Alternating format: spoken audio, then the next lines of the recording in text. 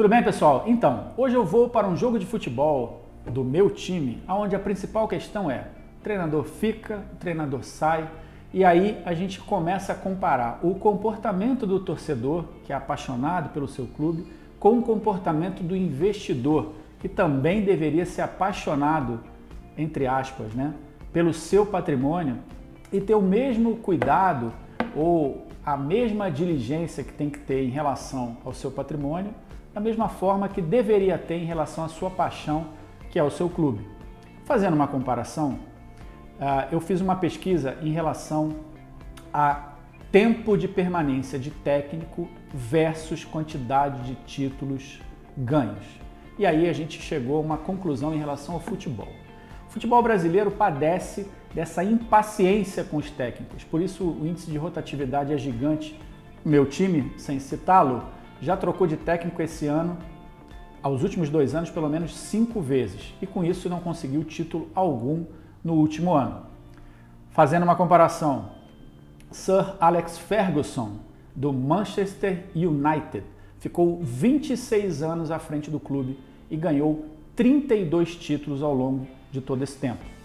O mais notório técnico da atualidade, o senhor Pepe Guardiola, temos a estatística dele aqui, ele ficou de 2012 a 2000, 2008, perdão, a 2012 no Barcelona. Ele ganhou nada menos que três campeonatos espanhóis, duas Copas do Rei, duas Champions, duas Supercopa UEFA, três Supercopa da Espanha e dois Mundiais com o Barcelona. Depois ele foi para o Bayern, onde ele ficou somente três anos. No Bayern ele ganhou três campeonatos alemães, duas Copas da Alemanha, uma UEFA e um Mundial.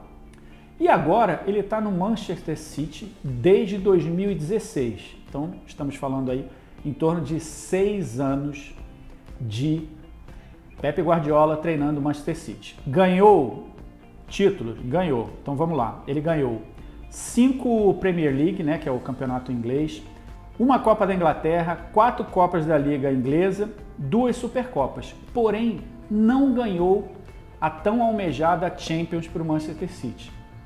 O que, que eu quero dizer com isso?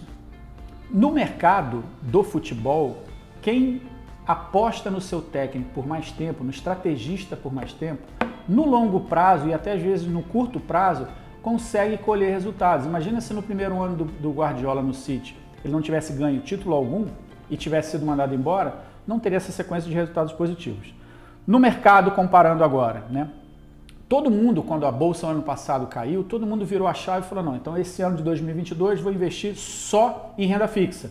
Muita gente pediu o resgate dos fundos de investimento, alguns resgataram por conta própria sua carteira de ação e viraram a chavinha para a renda fixa. A renda fixa está atraente? Joia.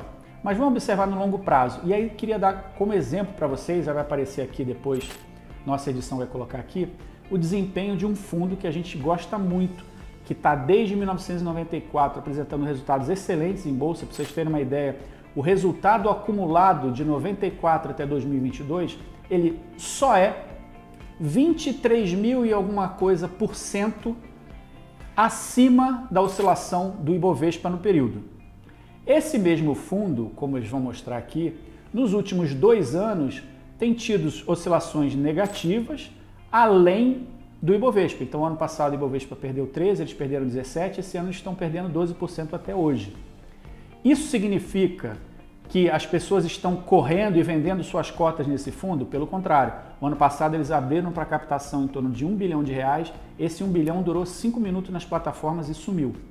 Ou seja, quem conhece o fundo a longo prazo, acompanhou essa rentabilidade absurda que eles deram acima do Ibovespa, não está preocupado com esses dois anos de desempenho aquém da expectativa, porque sabem, existe um histórico para trás que comprova que os gestores são extremamente competentes e que nunca ninguém vai ter 100% de acerto em tudo que faz.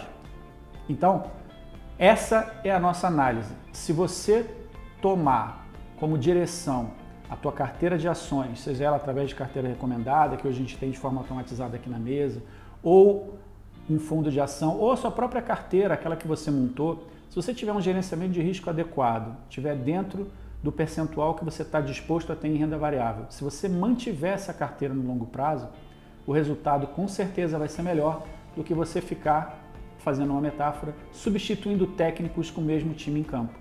Então, a realidade no futebol, que hoje no Brasil é ruim e na Europa é muito boa, é baseada na manutenção de princípios e não oscilações de momento. Então, se por princípio um técnico é bom e tem uma boa estratégia de jogo, ele é mantido ao longo do tempo para poder dar resultado. Da mesma forma, os analistas que desenvolvem as carteiras recomendadas e os analistas e gestores dos fundos têm que ter um tempo para trabalhar, para mostrar sua estratégia que é vencedora e que no longo prazo se paga. Grande abraço e até a próxima.